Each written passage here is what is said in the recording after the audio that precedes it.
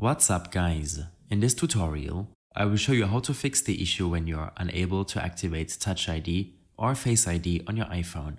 This should be quite an easy tutorial. For more information, click on the first link in the description below. Open up your settings application. Here, scroll down and select Face ID and passcode, or in your case, Touch ID and passcode. After entering your passcode, make sure to toggle the iPhone unlock option off and on again. If you get the unable to activate Face ID alert on other applications, then make sure to toggle the option for that specific app. You can then proceed to open the app to see if this fixes the issue. If the problem persists, then head back to your Face ID settings and select Set up an alternative appearance.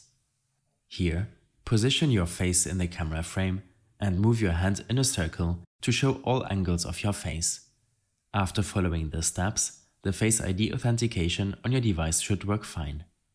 If this is not the case, then make sure that your device is running the latest software update. In your General settings, tap on Software Update.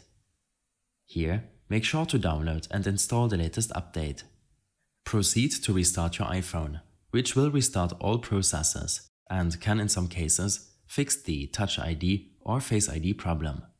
As a last resort, you will have to reset your iPhone settings. Back in your general settings, scroll all the way down and select Transfer or Reset iPhone. Tap on Reset and then Reset all settings. Enter your passcode and your device will restart with the default iPhone settings.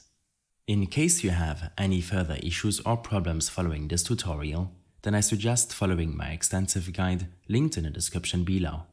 I hope this helped you out, leave a comment if you have any questions and see you in the next one.